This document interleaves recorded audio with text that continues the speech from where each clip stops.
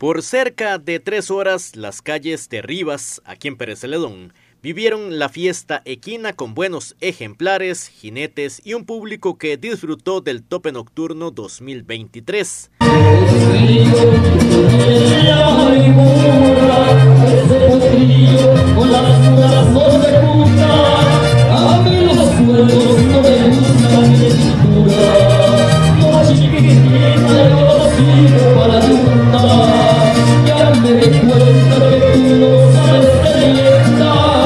Una fiesta de mucha alegría que disfrutaron pequeños y grandes. Y esto viene gente a ver todo en lo que son las exhibiciones de caballos, eh, un ambiente bonito, sano y la idea es eso, que visiten nuestro distrito, nuestra parroquia de Rivas y que compartan en familia. Gracias a Dios nos ha hecho muy buen tiempo. Un tope que llenó las expectativas de las personas que estuvieron en la comunidad y los que lo vivieron por TV Sur Pérez Celedón.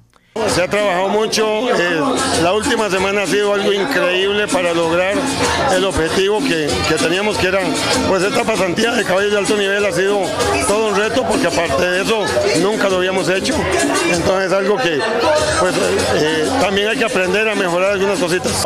agradecerle, agradecer a todos los, la verdad ha sido maravilloso, esto ha sido muy muy muy bonito, hemos vivido momentos muy muy, tanto los que participamos eh, en la monta como la gente que está disfrutando ahí. La verdad es agradecerles a todos, a todos, tanto los caballistas como la gente que ha llegado aquí. Gracias, gracias y gracias. La alegría del tope se disfrutó en la comunidad de Rivas.